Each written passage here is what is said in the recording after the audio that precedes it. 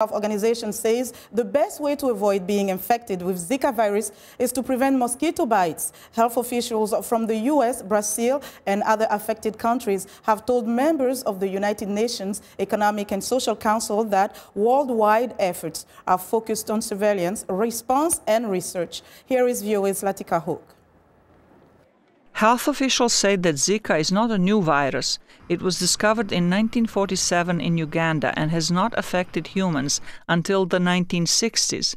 The symptoms it caused were often mistaken for dengue or chikungunya, but a large number of infections since last year has revealed new manifestations of the virus. The situation is rapidly changing, uh, as everyone uh, is probably aware, and as a result, we're learning about Zika on an almost daily basis. More research is needed to determine if Zika may cause serious birth defects such as microcephaly or abnormally small heads in babies and neurological and other diseases.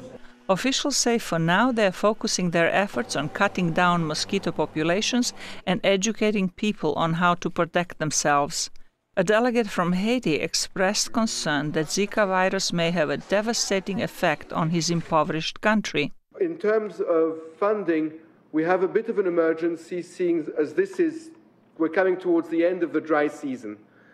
And while there haven't been very many reported infections, we believe that with the rainy season starting as early as next month, we are probably going to see a lot more uh, infection from the Zika virus and indeed other mosquito borne uh, diseases. The World Health Organization estimates it will cost $53 million to address the situation worldwide. On the research and development, uh, there are a couple of uh, directions also where we are working on the vaccine development. We are mapping current efforts on development of the candidate vaccines. It will still take some months before we are going to have the vaccine, but uh, the work is quite advanced already by two manufacturers. Research is also underway to develop a genetically modified male mosquito that will produce weak larvae when mating with wild female mosquitoes that would significantly reduce the mosquito population.